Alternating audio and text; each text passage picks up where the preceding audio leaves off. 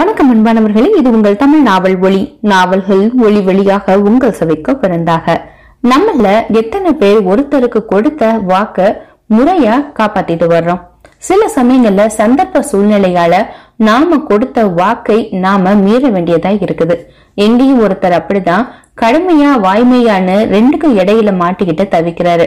அவர் கடைசியில என்ன முடிவை எடுத்தாரு அப்படிங்கறத இந்த கதை மூலமா நாம தெரிஞ்சுக்கலாம்.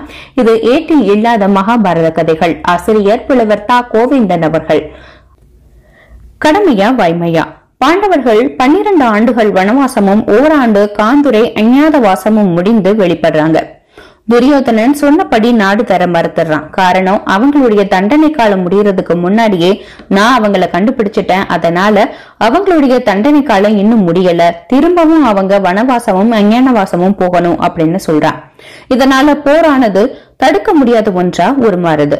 இரு தரப்பினர்களும் போருக்கு தேவையான படை வீரர்களையும் ஆதரவாளர்களையும் திரட்டிக்கிட்டே இருக்காங்க. பாண்டவர்கள் உபலாவியம் அப்படிங்கிற இடத்துல அவங்களுடைய படைய திரட்டிக்கிட்டே இருக்காங்க. பாண்டவர்களுடைய தந்தையான பாண்டு மன்னனுக்கு இரண்டு மனைவியர். மூத்தவள் குந்தி அவளுக்கு தர்மன் பீமன் அர்ஜுனன் என்று மூன்று புதல்வர்கள். இரண்டாவது மனைவி மாத்திரி அவளுக்கு நகுலன் சகாதேவன் என்று இரண்டு புதல்வர்கள்.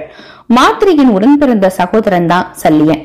அவன் ரொம்பவே பேராற்றல் படைத்தவன். வில்லாண்மையிலையும் வேளாண்மையிலையும் வாளாண்மையிலையும் அவனை வெல்றதுக்கு யாருமே கிடையாது. அதனால சல்லியனன் வந்து தன்னுடைய மருமகன்களுக்கு உதவி செய்யறதுக்காக உபலாவியம் நோக்கி தன்னுடைய பெரும் படையை திரட்டிக்கிட்டு வந்துகிட்டு இருக்காரு.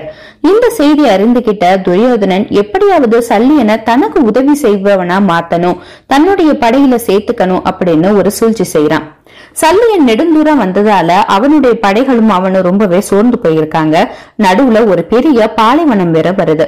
ஒரே வெயிலு வெப்ப காத்து புழுதி புயல் வேற கண்ணை மறைச்சுக்கிட்டே இருக்கு. படை வீரர்களும் அவங்க படையில இருந்த யானை குதிரை போன்ற உயிரினங்களும் ரொம்பவே வந்து தாகத்தாலையும் பசியாலையும் துடிச்சுக்கிட்டே இருக்காங்க. நான் உளுந்து நடை இப்போ தளர்ந்து போயுது. நிழலே இல்லாத இடத்துல என்ன செய்யறதுன்னு புரியாம யோசிச்சுக்கிட்டே இருக்காங்க.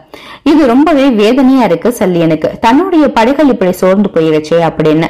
இன்னும் பாலைவனத்துல எவ்வளவு தூரம் தான் போகணும்னு தெரியலையே அப்படின்னு ரொம்பவே யோசிச்சுக்கிட்டே இருக்காரு.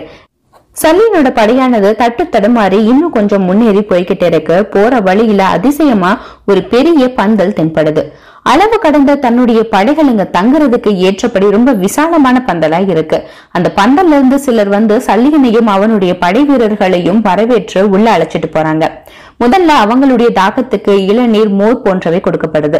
யானைகளுக்கும் குதிரைகளுக்கும் தேவையான தண்ணீர் கரும்பு அருகம்புல் போன்றவை கொடுக்கப்படுது. கொஞ்ச நேரத்துல அறுசுவை உணவோட உணவு பரிமாறப்படுது.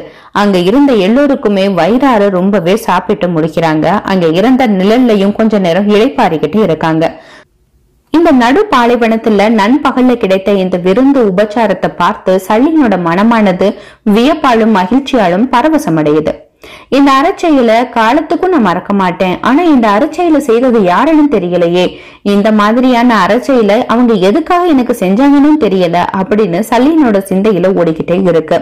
ஆனா இந்த அறவொலிய நினைச்சு அவனுடைய மனமானது அவங்கள வாழ்த்தி பாடிக்கிட்டே இருக்கு. வாயாலையும் அவரு பாட ஆரம்பிக்கிறாரு.